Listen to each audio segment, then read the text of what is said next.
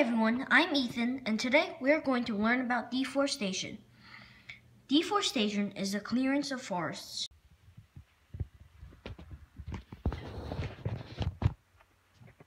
Logging is the cutting and loading of logs onto trucks. Subsistence farming, also known as subsistence agriculture, is where the farmers focus on growing enough food to feed themselves and their families. Commercial agriculture is where the farmers intend to grow lots of food to sell at profits. Deforestation contributes to global warming, makes the environment more humid and dry, and destroys animals' habitats. Okay, now let's have a little quiz. Is this deforestation?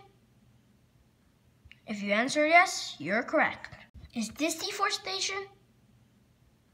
If you answer yes, you're correct. Is this deforestation? If you answer yes, you're correct.